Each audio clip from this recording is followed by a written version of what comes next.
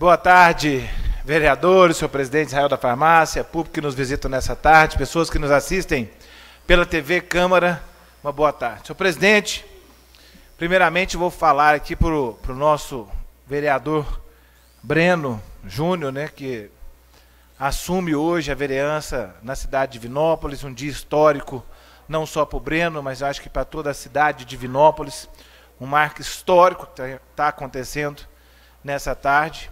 E a gente tem que saber é, valorizar e as emoções que o vereador Breno sentiu aqui nessa tarde.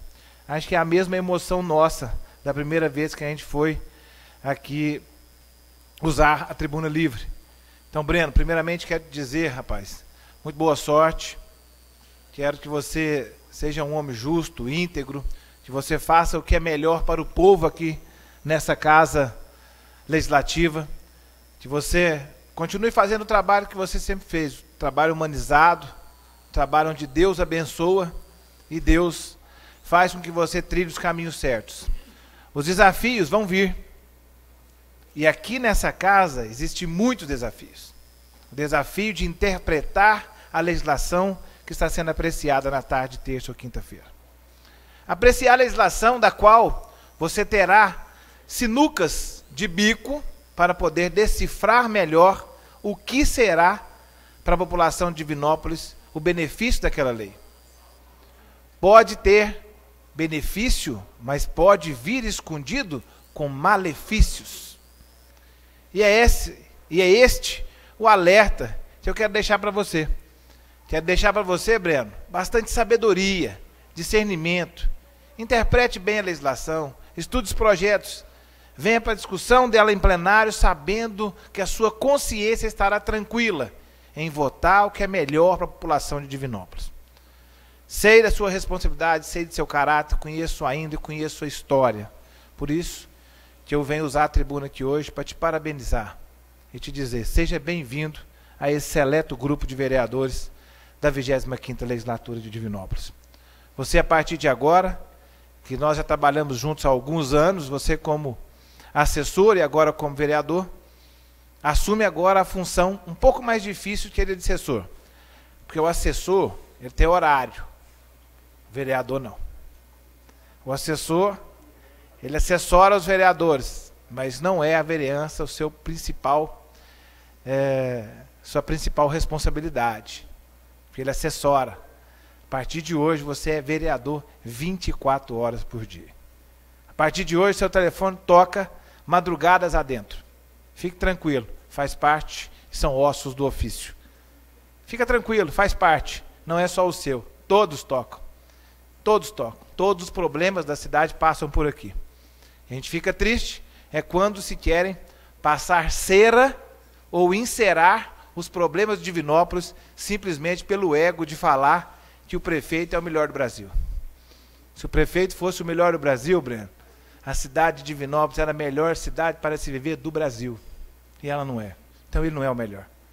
Se a cidade fosse, se o prefeito fosse o melhor prefeito do Brasil, a saúde não carregava todos os problemas que ela carrega todos os dias na UPA, no Hospital São de Deus, e os próprios pacientes dentro de casa, aguardando cirurgia.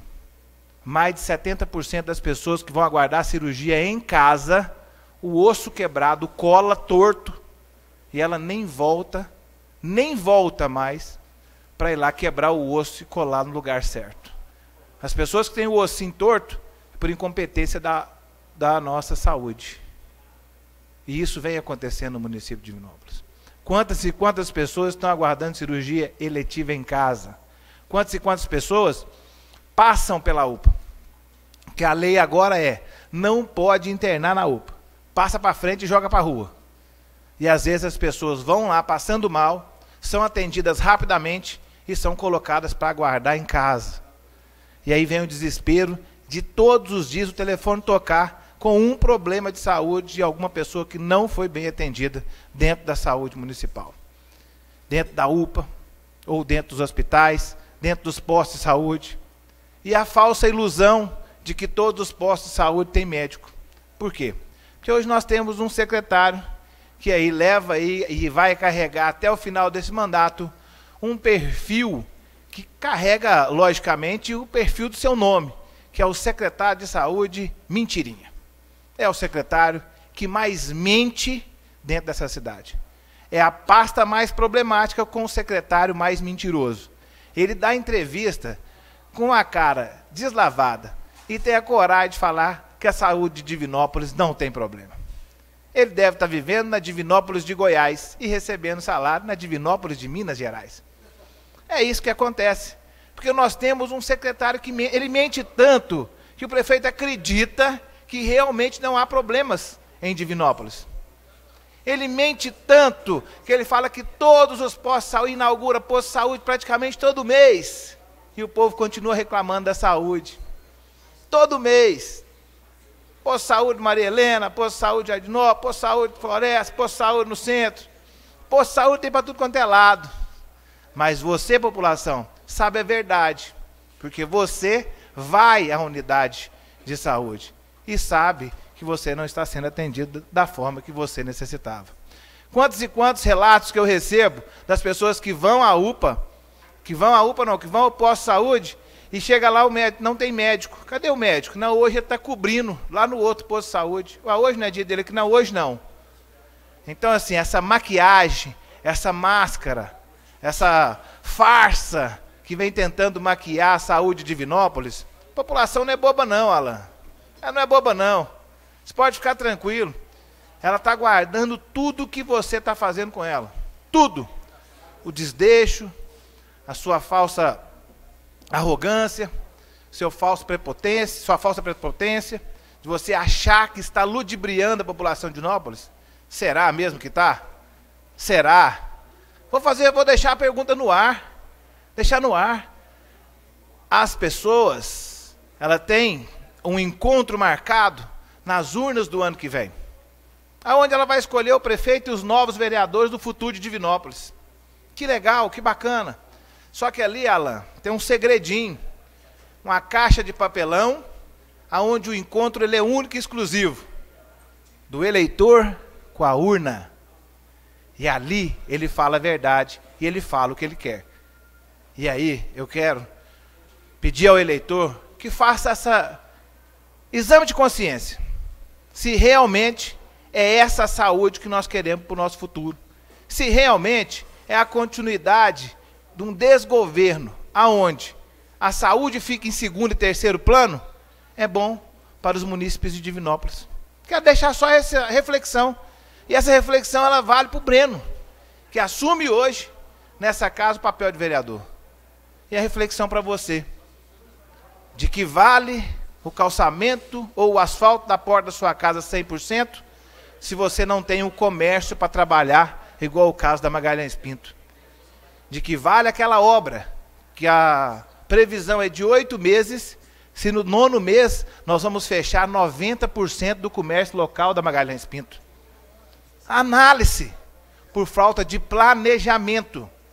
Planejamento, aonde iniciar e aonde terminar a obra rasgaram toda a Magalhães Pinto, picotaram a Magalhães Pinto, dos dois lados, cada um num momento diferente, aonde a população e o cliente não consegue transitar na via para fazer compra no comércio local.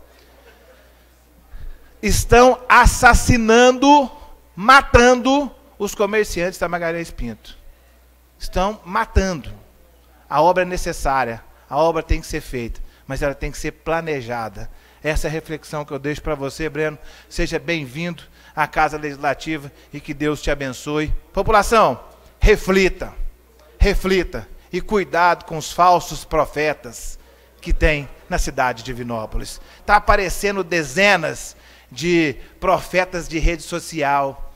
Pega as falas dos vereadores e fica com a carinha lá assim, ó. Pede o currículo dele, para saber o que, que ele foi na vida dele para saber se realmente o que ele fala ou critica de algum vereador aqui, ele tem moral para falar. Faz uma análise, peça o currículo daquele crítico de rede social, que o nosso currículo está disponível no site da Câmara Municipal, na nossa história. Mas os falsos profetas de rede social, que fica assim, ó, quando os vereadores criticam o governo, que é a milícia digital do governo, né? A milícia do irmão do prefeito, do, do senador. A milícia do irmão do senador. Trabalha assim que é uma beleza. E uma das milícias, que é o Babados de Fofoca Div, foi comprovado com tudo aquilo que nós falamos aqui na tribuna dezenas de vezes e abrimos até um processo. A ex-assessora da Janete, Vanessa, assume que o blog de fofoca, de futrica, de ataques a essa instituição é dela. Então, quer dizer, ela assume que ela ataca mesmo e que ela defende o governo. Mas será que é de graça? Tanto amor, hein? Obrigado, população de Divinópolis. Obrigado, vereador Eduardo.